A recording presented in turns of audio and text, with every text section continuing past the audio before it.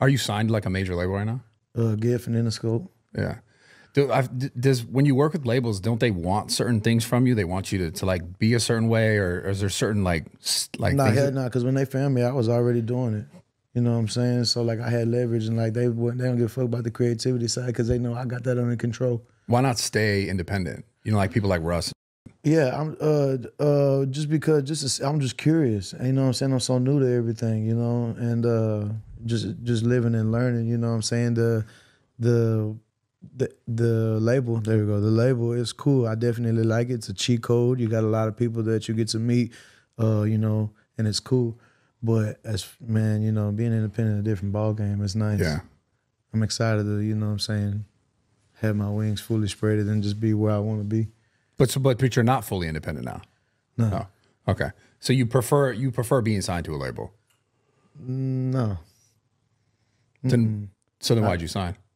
like I said, just curious, just, Just figuring curious. out, just figuring out new How- is things, that a seeing cr- how it could help me and how it couldn't. Is it a long deal? Nah, Yeah. I'm just always curious about that because I feel like nowadays, just the way the internet is all set up, like because you have so much power in the space as like not just a rapper, but as a creator and like showing up on podcasts or I know I saw you did the Schulz thing. Like you have so much more that you can go and just kind of make happen. Mm-hmm. I always wonder why do people still go and sign with labels? I'm not this is I'm not at all trying to labels because they Yeah, probably do a ton for you behind the scenes as yeah, well. correct. They do. Like you know, what I'm saying they they like I said they they help a lot. Like uh, I don't have to worry about it except for the creative side. They do Yeah. all of my social media posting. They handle my my uh my what's it called like my media. Like they keep me up to date with posting Bookings. new Yeah, yeah. You know what I'm saying? My bookings, everything. They literally do everything. So I ain't got to worry about nothing except for being there on time and executing correctly. And there's never anything that they never try to get you to do things you don't want to do, or if you do, you have some. Assuming you have say in it.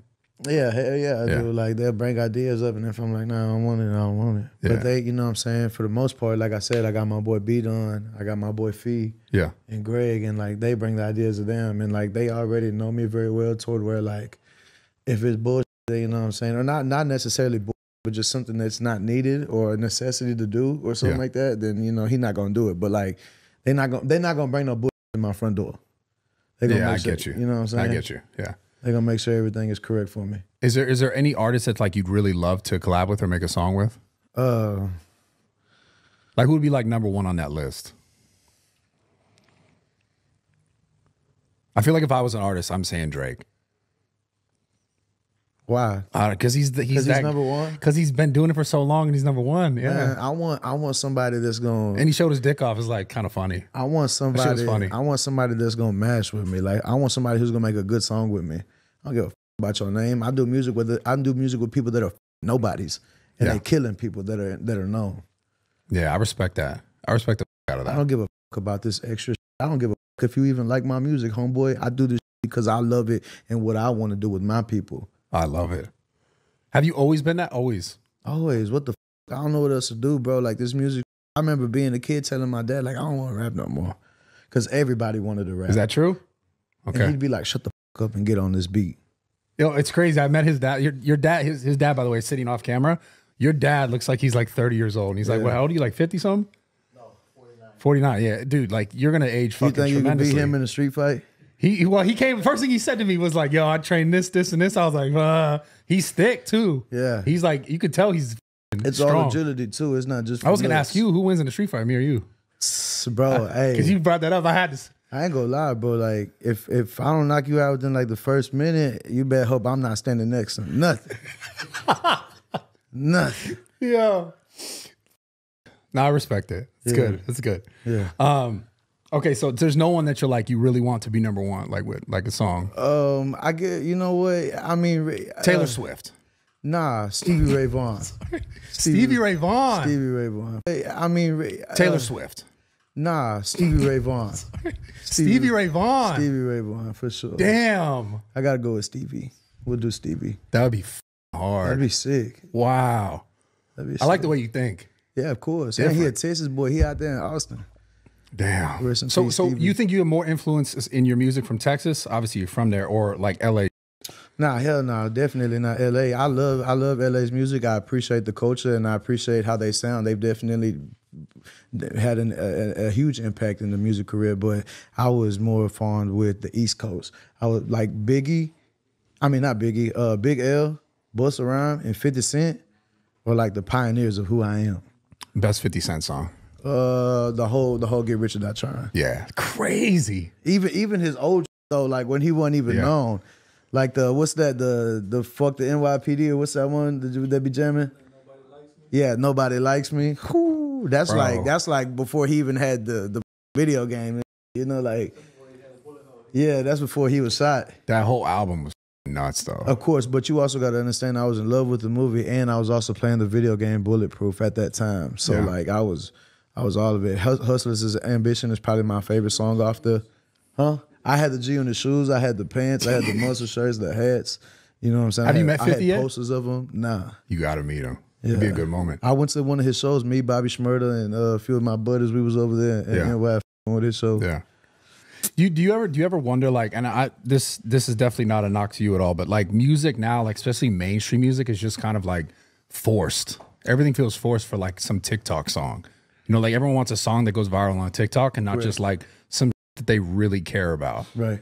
Do, you see that? Do you notice that? Yeah, correct. I, I I can I, I mean kind of, you know what I'm saying? I feel like uh when you say force, that how I'm taking it is like they're they're creating these superstars. Like I've met some rappers before and I'm like, "Oh yeah, I could tell the label made you."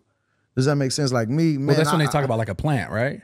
Yeah, like me, I'm a full on personality. Like I'm Virgil at the end of the day. You know what I'm saying? Like I, I'm from Bay City, Texas, from the little country old town, southeast of Texas. You know what I'm saying? And like I just be me. Like it's really you. Yeah, correct. So like that, so that is so strong that it plays with music to my interactions with other people. Like they just feel that. Shit. So like, I don't think I'm forced. I th- I think I think yeah, you can see it when it's forced.